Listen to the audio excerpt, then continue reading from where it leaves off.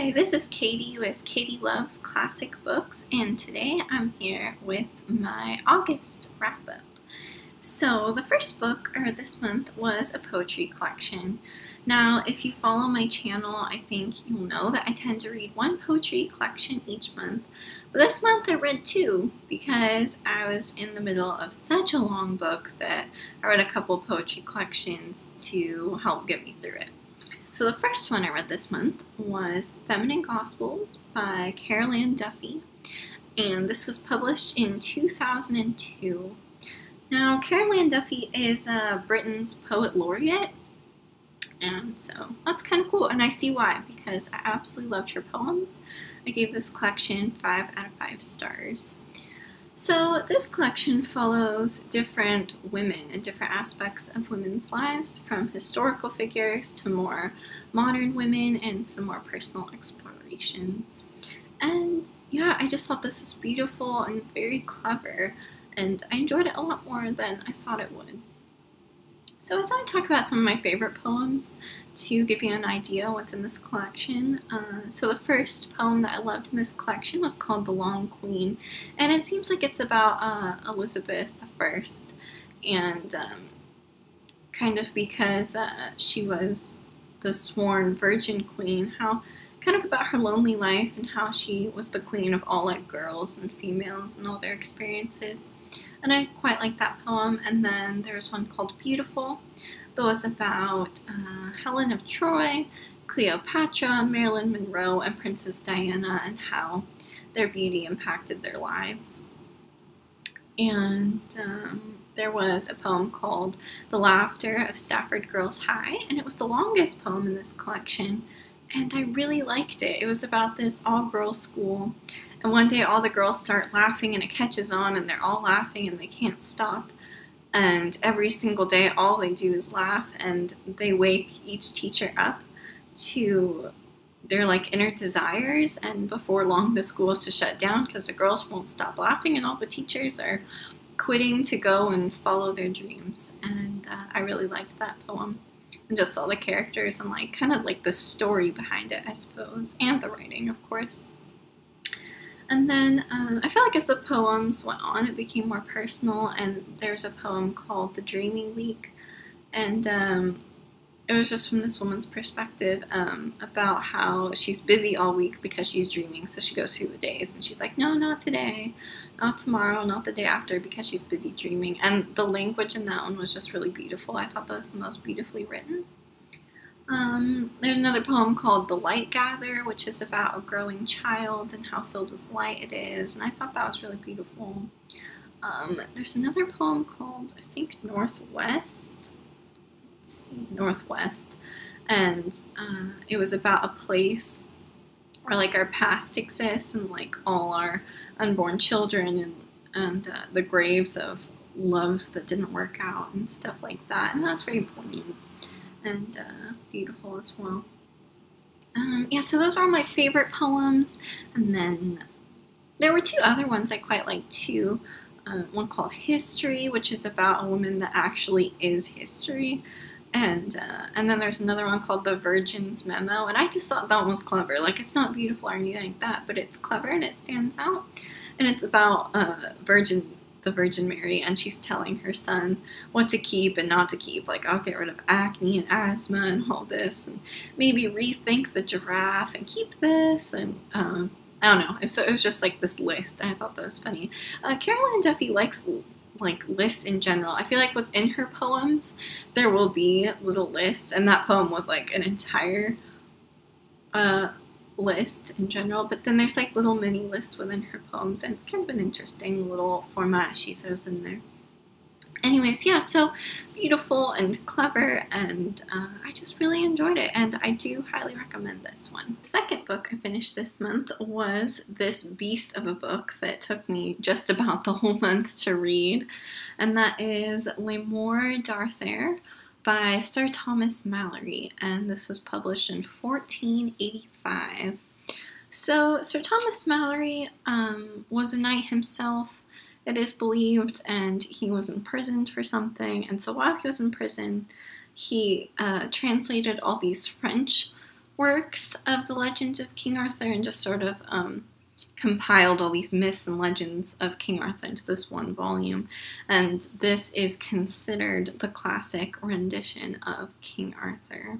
This tells of King Arthur from his birth at the beginning and to his formation of Camelot and his marrying Guinevere and his forming the Round Table and acquiring all his knights.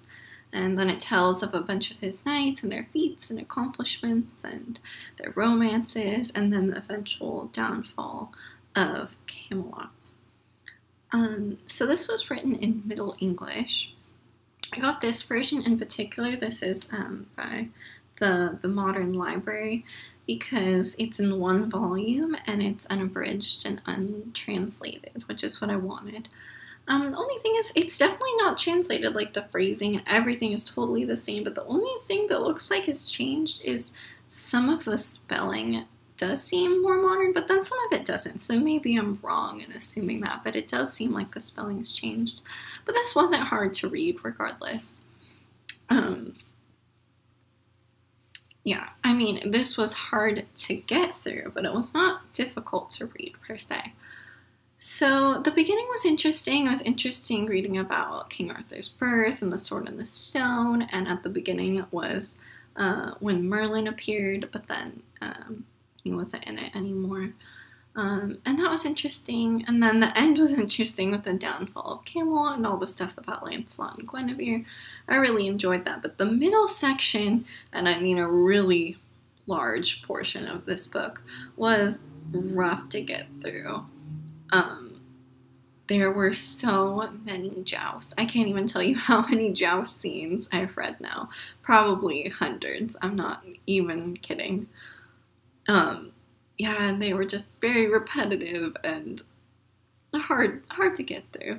Um, in the middle section, there was like the whole romance and story about Sir Tristram and then his love, La Beale Isoud, and um, that was interesting because I've heard a lot about their uh, romance. I didn't realize it was in here, and then it was such a large portion. And Sir Tristram was quite a big character. Um, Sir Lancelot and him were like the most important knights in Camelot, and so that was interesting. I enjoyed reading about him and that. And then there was the Holy Grail section too, which wasn't that long. That was interesting as well.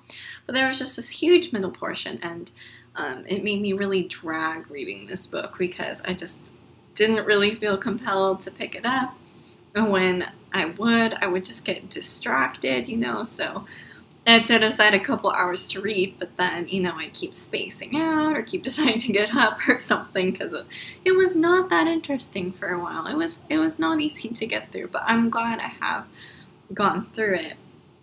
I mean, uh, this is so interesting. I knew when I picked this up, I didn't pick this up um, for the sake of like a fast-paced, totally interesting read.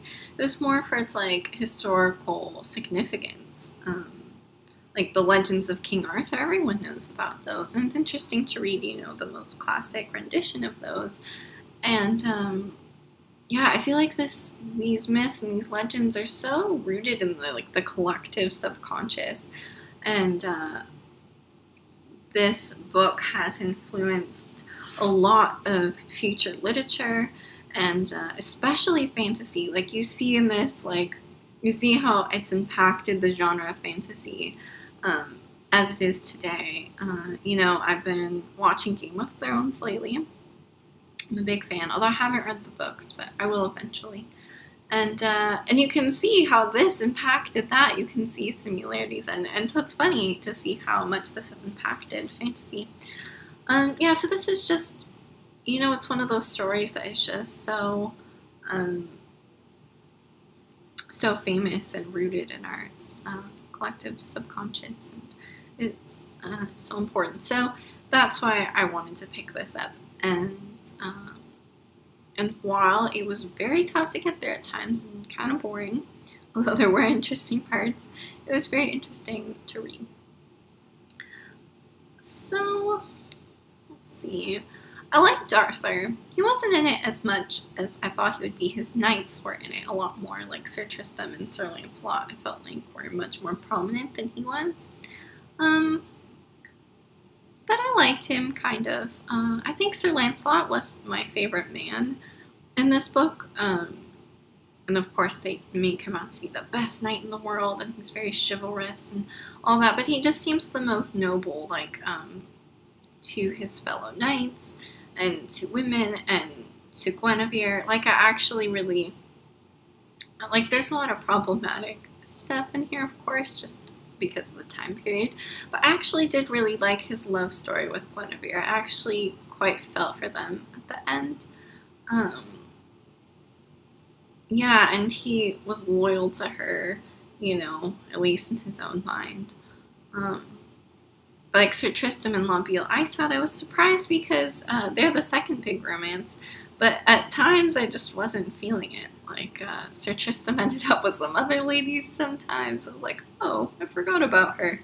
Um, so you can't really like it quite as much. But Sir Lancelot was very, very loyal and just um, seemed like a wonderful knight, a wonderful friend, and a loyal lover. And so I I really liked him, and I liked his love story with Guinevere. Um, it's interesting the relationships in here because um, the two big romances and a lot of other relationships as well are adulterous in, in nature. You know, they're they're married to other people uh, the females. And it seems championed for a lot of the book, like uh, Sir Thomas Malory, you know, is saying love is a wonderful thing. Besides the Holy Grail part, there's a little bit of repenting of some of those actions in that part, but then it goes right back to like, oh, love is important. And it's interesting because by modern standards, you know, it's like, wow, well, that's adultery, you know. But it's interesting to think about the time period this was written because um, and it's set in because it's set a lot earlier than the 15th century. Because this was written in the 15th century but i think these legends you know are supposed to be set like the 5th or 6th century century something like that.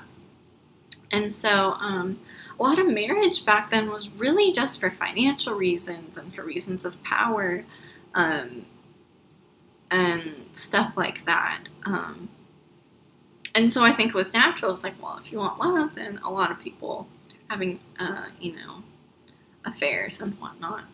But that doesn't mean there aren't consequences because even if like that's somewhat normal and everyone else thinks okay, if the spouse is being cheated on, it's you know there are harsh consequences for that. Um, and is almost burned at the stake at the end, so there are consequences for that. But yet, it seems like if you wanted a love union union back then, that was kind of the way it was happening. So it's interesting to look at this in like a context of the time period um, and their relationships and whatnot. So that was interesting. And that, um, you can very much tell this is a product of its time. Like you can see back then, you know, the patriarchy was at its height, but yet we're still living in a patriarchal society. So you see like where some of the values have come from because it's in here and I'm not saying that's like good or the way things should be anymore, but it's just you see where it's come from and uh, how it was. And it's interesting. Um, you know, um, it's all about uh, the masculinity and, and all of that. Oh, there was there were some good things in the code of the Round Table. Um, not everyone upheld those things, you know, but they're supposed to at least be loyal to each other and uh, they're never supposed to hurt a woman. So even though women were very repressed, I guess that's good. Not all of them followed that, you know, but they're trying to protect them. And, you know, chivalry was at its height. And in some cases, you know, in some circumstances, that's fine. In others, not so much yeah, definitely the females. It was interesting to consider females in this time. Just you know, like I said, the patriarchy was super at its height, so women, of course, were quite repressed and very much thought of as objects, and there were lots of damsels in distress and all that, which was kind of funny. Um, but there were a few powerful women in here, like Morgan Le Fay. She's, but then they're like evil sorceresses, and uh, I don't know. It's interesting to consider her character, kind of. And it's interesting because at the end, when uh, King Arthur finds out about Guinevere and Lancelot, and I'm assuming this is not a spoiler because like everybody knows about Guinevere and Lancelot and all of that. Like I said, these stories are just they're part of our culture. And uh, so when King Arthur finds out about Guinevere and Lancelot, he says he's more sad to lose Lancelot than Guinevere because, like, eh, I can find another queen. You know, and he blows it off as if she's not important. She's just a woman. He can go find another one. And I found it interesting that he blew her off like that and, you know, thinks women are not so important because it's like, well, the entirety of Camelot fell apart because of a woman, because of Guinevere. You know, if it wasn't for her and because King Arthur felt so betrayed and because Lancelot was so in love with her, um, Camelot wouldn't have been destroyed. So it's like they try to make it seem like women are not important, but then it's funny because because of a woman, the entire kingdom is destroyed.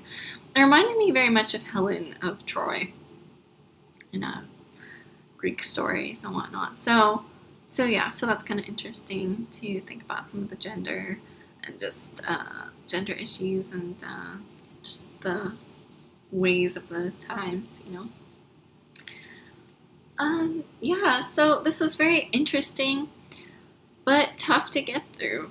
Not gonna lie. So I gave this three out of five stars on Goodreads, but I'm very glad to have read it now. And I've been watching adaptations, which is really fun. Um, yeah, I saw Tristan and Isolde, which has James Franco and I believe, came out like, I don't know, few well, maybe not a few years ago now, maybe early 2000s or something.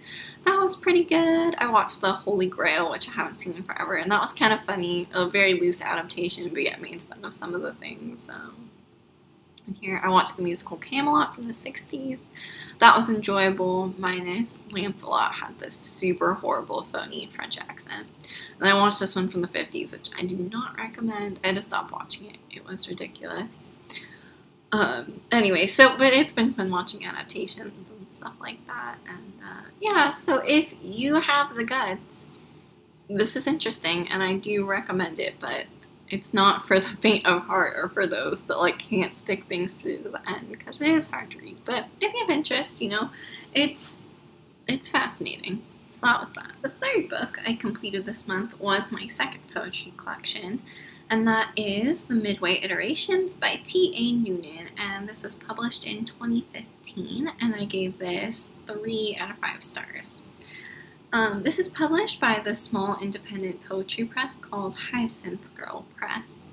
I'm pretty into reading um, poetry from these little small presses. This is the second one I've read from the press, but not my favorite. I will link this though in the description box below if you are interested because you can only purchase it on their website.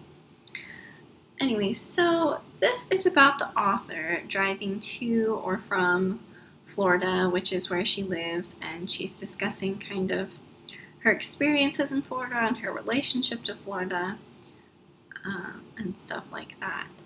Um, in the first poem, the whole collection is kind of based on the first poem. She's stuck in traffic and she's driving from Florida, and it seems like she could have almost died. And so each of the subsequent poems um, take their titles from each line in the first poem, so until we finish the poem, basically. And so I had to look up, uh, like, I was curious what the title meant, and so I realized Midway is a place in Florida, so that's where the Midway comes from. And I looked up iterations, and, it, and it's some sort of thing like an experiment or something, and it's like very repetitive, and you get closer and closer to the desired result, and like, um, and that's what iterations are. And so this is what the uh, this collection seems like because, like I said, we have one poem and then each of the next poems uh, take their titles from the first poem, so they're in that way they're kind of repetitive. And then at the end, like the last poem, she kind of explains in that one what she was doing a little bit. So I guess that's where the iterations comes from. And so I thought the structure was interesting in that way. You know, it was kind of clever. I always like it when people are clever. And so I appreciated it for that. The poems were alright, but I didn't really emotionally connect to it. It wasn't absolutely beautiful. It wasn't anything crazy fabulous. So it was clever, like it was good. Um, nothing crazy. It was just kind of okay for me. So if it still like strikes your fancy, you can check it out. But you know, I'm not like highly recommending. This one, um, I've read The Exhibit by Lauren Eggert-Crowe by the same press, and I recommend that one more. But I'll keep checking out things from their press and see um, whether I like it or not. I'm not going to lie. Um, when you're on these presses websites, like it's so hard to find out anything about the collection. Like unless somebody else has happened to, you know, put it in a video review or in reviews on Goodreads, it's hard to tell because usually the description on Goodreads won't have a description and neither will the website. It'll just have a, a, snippet of a poem. So I couldn't tell anything from this one. And this one wasn't recommended by anyone in particular. I, I just liked the other collection I read by this press. I'm not going to lie. I did think this cover was pretty cool. So you can see it there. It's pretty cool. And so maybe I was persuaded to read this one based on the cover. But yeah, so it was okay. It was kind of clever nothing special. The last book I read this month was The Sound of Waves by Yukio Mishima, who was a Japanese author. And this was published in 1954. So this follows a young man named Shinji and kind of his coming of age and how he falls in love for the first time with a girl named Hatsue and uh, they live on this island in Japan, a fictional island I discovered called Utajima. And it's very tiny, and everyone there makes their living from the sea, uh, Shinji included. He is a fisherman. And at first, um, the islanders start a lot of gossip, and it kind of threatens their young relationship. And then it seems like the tides might turn in their favor. And uh, yeah, this I gave this five out of five stars. This was such a lovely book. Um, it was a very sweet tale, you know, of coming of age and young romance and the trials and tribulations of that. Um, and it was just kind of a quiet story, and it's very atmospheric. That's what I loved about it. I loved the descriptions of nature; they're beautiful, and um, the ocean obviously played such a big role in this book, which I really enjoyed. It just permeated the story. And yeah, it was just highly atmospheric with that you just felt this island and just the constant presence of the ocean, like the sound of the waves, you know, is constant. It doesn't matter where you are on the island. It's like so integral to these characters and their lives and where they gain sustenance from. And I liked reading about, you know, the fishing that Shinji was doing. And then all the females on this island um, were divers. Um, I forgot that used to be a thing in Japan. Um, the female divers and uh, they would dive for food at a certain time of the year. And so that was cool to read about all of them, you know, and they're working on the sea and just all the descriptions and of the young love and the coming of age and all of that. And so, yeah, it was just a very pleasant atmospheric read, and it was a nice read for this time of year, you know, it was August and uh, spending a lot of time at the beach myself. So it's nice to read a book set by set by the sea.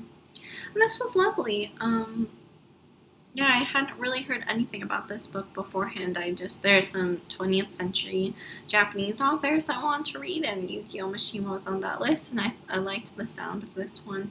And I'm really glad I went with this one because it was really lovely. And his other books sound a little more intense than this one, but I'm excited to read more of his work. So that was that. So those were all the books I read in August. I didn't read too many because Le Morte D'Arthur took up so much of my time. It almost took me the whole month to read. But uh, I did enjoy what I read. It was interesting, and I'll talk to you next month with hopefully more books.